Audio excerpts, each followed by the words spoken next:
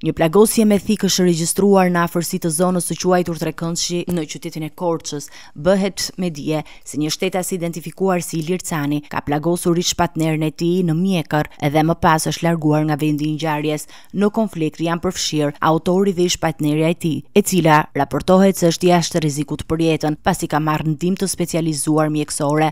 Mësohet se autori ka qenë duke kaluar në rrugën në lagjen 4 të qytetit, ku ish-partnerja e tij e ka ndaluar dhe i ka kërkuar të mos vazhdojë ta ndjekë më.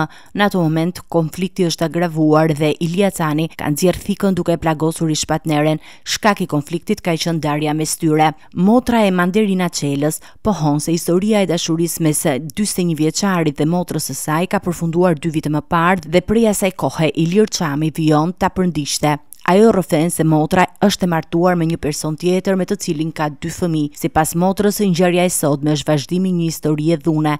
Pashë sa motra po kalonte atje, ai nis direkt e më kapi motrën e shtriu poshtë. I futi thikën në grykë. Jo, tashi s'kishte lidhje, kishte dy vit, s'kishte lidhje fare.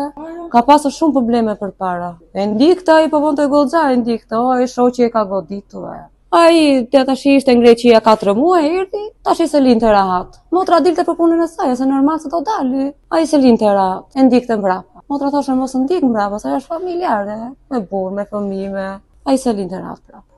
30 vjeçarja Manderina Çela është e martuar dhe ka tre fëmijë, ndërkohë që Dyzet e një vjeçari, Ilir Çami është i martuar, por nuk ka hequr dorë nga e dashura e tij, që kishte pasur lidhje jashtëmartesore dy vite më parë, ndërkohë që tridhjetë vjeçarja ka qenë e pajisur gjatë gjithë kohës dhe me urdhër mbrojtje nga gjykata. Policia e Korçës bën me dije se Ilir Çami në vitin dy mijë e njëzet e dy është dënuar po për përndjekjen e të dashurës së tij Manderina Çela, ndërsa vijojnë hetimet për zbardhjen e plotë të ngjarjes.